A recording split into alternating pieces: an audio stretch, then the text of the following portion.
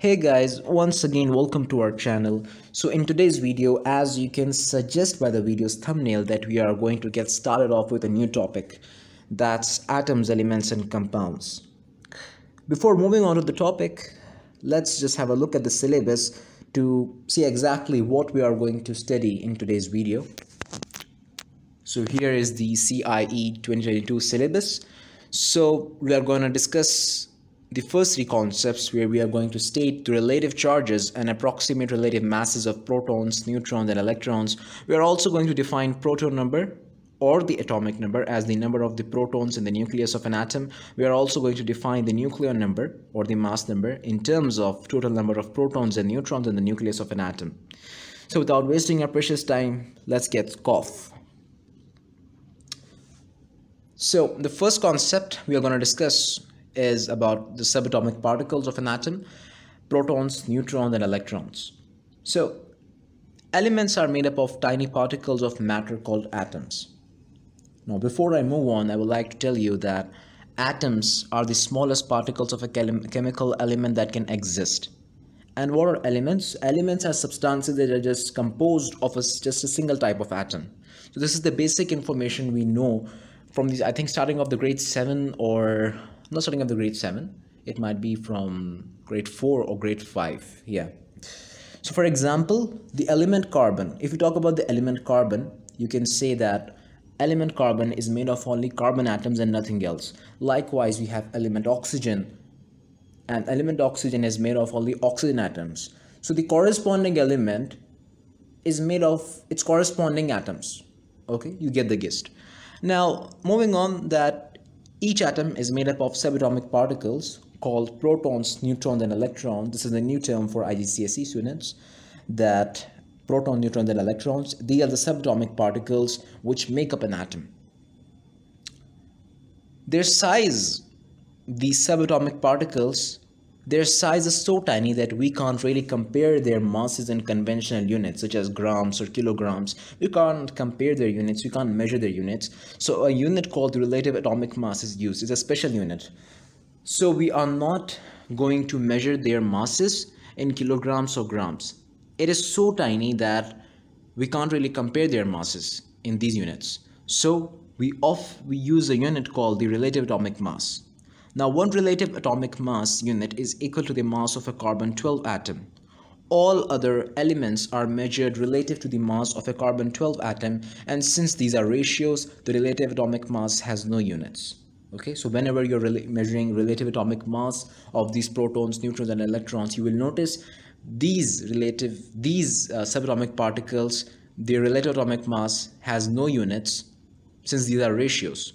Now hydrogen for example, if you consider the element of hydrogen, it is made of hydrogen atoms and it has a relative atomic mass of 1 okay in total. Meaning that 12 atoms of hydrogen would have exactly the same mass as one atom of carbon. As i said before that we are comparing uh, that we are measuring their comparing their masses in conventional we are not comparing their masses in conventional units. We are just measuring relative to that relative to the carbon 12 atom okay as i discussed in the fourth point that was one relative, one relative atomic mass unit is equal to the mass of a carbon 12 atom. Now moving on the relative atomic mass and charge of the subatomic particles are shown below. So here you can see clearly that uh, we have protons neutrons and electrons. All right? Protons have a relative mass of 1, neutrons have a relative mass of 1, electrons almost negligible mass since it has a relative mass of 1 over 1840. It has a negligible mass. We don't consider it as having a mass. Talking about charges, so protons has a proton have a positive charge that is plus 1, neutron is neutral in charge, so it has 0. Electron has a charge of minus 1. Now, before I move on to the next concept, the proton number and the uh, mass number, I would like to discuss the location where they're exactly located. Now, if we talk about the location of the protons, neutrons and electrons, the protons and neutrons are always found inside the nucleus. Okay, so you might have seen the structure of an atom. If you see the structure of atom um, using a microscope, or using using like if you see the structure of it in any book you will notice that the protons and neutrons are located in the center. They're exactly fixed in the center. And electrons are found in in the shells and they orbit the nucleus. Okay they are moving in orbitals. They are just um, hovering around the atom like like they are hovering around like a fly hovering around the street. They are randomly moving. Um, they are found in shells. Okay and already we discussed that charge in terms of charge if we talk about the protons have a positive charge neutrons have a neutral charge they are zero and electrons have a negative charge. And protons have a relative mass of 1 neutrons have a relative mass of 1 and electrons have a negligible relative mass of 1 over 1840 which is essentially 0 so we don't consider we don't um, we don't take that into account.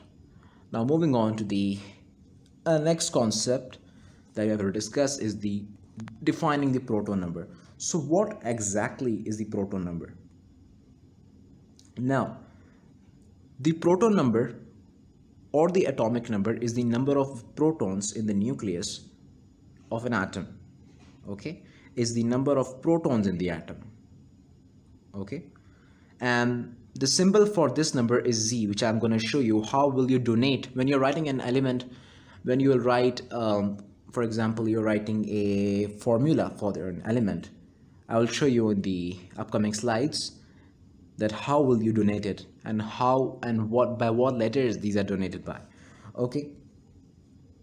Now if you see the periodic table there are many chemical elements on the earth and the periodic table summarizes all of them into single table for example if you refer to your periodic table you will see there are many chemical elements um, and almost all of them are mentioned and what are what these chemical elements tell you is that not only does it tells us the full names of all the existing elements and their respective shortened symbols, but it also gives an important information regarding the structure of a single atom of that particular element. For example, if you see the atom of uh, hydrogen, okay, or if you see uh, if you see this structure here, for example, now here we are going to talk about the structure, how it looks like. The X represents the chemical symbol for the element. For example, if you talk about lithium or let's say helium, okay. Now helium has a symbol of capital H and E and you can see the atomic number and mass number. The atomic number is always smaller, okay, and the mass number is always the massive one. So we'll be discussing that. So firstly, uh, it is also the, the proton number is also the number of electrons present in an atom and it determines the position of the element on the periodic table. Okay, so proton number tells you both the number of protons and electrons. Okay, so the atomic number is same as the proton number and the number of electrons. Now moving on to the next concept that is defining nucleon number. Nucleon number or the mass number is the total number of the protons and neutrons in the nucleus of an atom. And that's where um, every only the mass is only uh, we are when you talk about mass you only talk about protons and neutrons. Electrons have a negligible mass as we discussed with, uh, as we discussed previously. The symbol for this number is a. So if you see here okay? If you see here you can see clearly that a you can see z is the notation for the atomic number and a is the atomic and a is the notation for the mass number. And is the number of the nucleons in the nucleus nucleons are basically the protons the, to the total number of protons and neutrons. All right? Now the nucleon number minus the proton number gives you the number of neutrons of an atom. Now if you have an element if you subtract the mass number from the if you if you subtract the atomic number from the mass number you will get the number of neutrons present in an atom. And that is an information that is an important information that you will get from the structure of an atom. If you have an atom and if you know the proton number if you know the mass number you can get the number of neutrons. All right? Now note that the protons and neutrons can collectively be called nucleons. So that's where in the nucleus we have the nucleons and that contains protons and neutrons and that's where every your mass matters all right? Uh, the atomic number and the mass number for every element is on the periodic table. So if you refer to your periodic table you will see that the massive number of the element the element the symbol will be given. For example we have helium he and you will be given the mass number that will be the massive number. That would be greater number and the atomic number will be the smaller number all right so you need to be careful with that. Now we have uh, electrons. Now what are these electrons we discussed previously that electrons these subatomic particles move very fast around the nucleus and they move very fast around the nucleus as like they are hovering around like a fly hovering around a street and they move in orbital paths called shell and the mass of the electron is negligible hence the mass of an atom is contained within the nucleus where the neutron and proton reside. So the when we talk about mass we only talk about protons and neutrons remember that.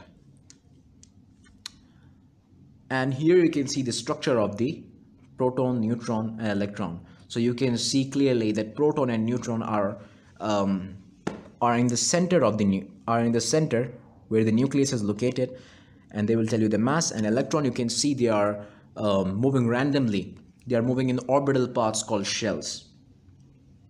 All right now if you take helium for example if you see if you refer to your periodic table you will see that helium has a mass number of exactly 4 and uh, proton number has a atomic number of 2 and firstly what this will tell you now firstly it will tell you the full name and the shortened chemical symbol for the element. In this case helium. This is fairly straightforward. All right? Now secondly it will tell you the proton number and the mass number of an helium atom. And the couple of extremely things important things to remember is that as already we discussed i'm just recalling the concepts the proton number aka atomic number is the number of protons. All right? Is the number of protons in the nucleus of an atom and, and the mass number or the uh, nucleon number is the total number of nucleons that is the protons plus neutrons inside the nucleus of an atom. And the number of electrons will always equal to the number of protons. So if you see your atomic number that is equal to your number of protons and it also equal to the number of electrons. Now one more important thing to remember this is an exam tip for you guys an atom always has zero overall charge. Why? Now the question will come why it has a zero overall charge this is because the number of protons will always be cancelled out by the same number of electrons.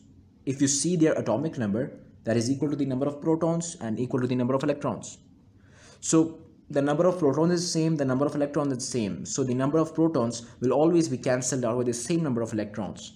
If there was an imbalance then the atom would be become charged and at that point it is not called the atom. Instead it is called an ion which we will be covering down in the next upcoming videos. All right. Now electron arrangement as we discussed that recall that electron electrons are held in shells and shells are represented as rings around the nucleus. So we can see these are called orbitals actually. And you can see it's like a ring around the nucleus. And it is really important to understand that the maximum number of electrons that a single shell can hold can vary all right for example um, the first shell can hold two electrons up to two electrons the second shell can hold and uh, can accommodate eight electrons the third shell can accommodate eight electrons. We'll be discussing in the upcoming videos but our main our main focus was on the first three concepts that we have just covered and that was defining the proton number defining the mass number and we the subatomic particles, protons, neutrons, and electrons, the relative masses, the relative charges. So we have covered the goal, we have covered the concepts that we were supposed to cover in today's video. And in the next video, we'll be discussing, what we'll be discussing exactly, just uh, go back to the syllabus. Yeah, here you can see in the next video, uh, we will be discussing uh, use proton number how we'll use proton number and the simple structure of the atoms to explain the basis of the periodic table, see section 9, with special reference to the elements of proton number 1 to 20. We'll be discussing that. We're gonna we are also going to define isotopes as atoms of the same element, which has the same proton number but a different nucleon number. And we will also try to I will also try to discuss this, the last concept, that is the two types of isotopes as being radioactive and non-radioactive. So we will be discussing in the upcoming videos. Okay exactly I can't tell you that what we're going to discuss in the upcoming video, uh, the next video, but all this will be covering in the upcoming videos. So make sure um, you're subscribed to our channel and the bell icon and you press the bell icon so you uh, receive our, our notifications at first.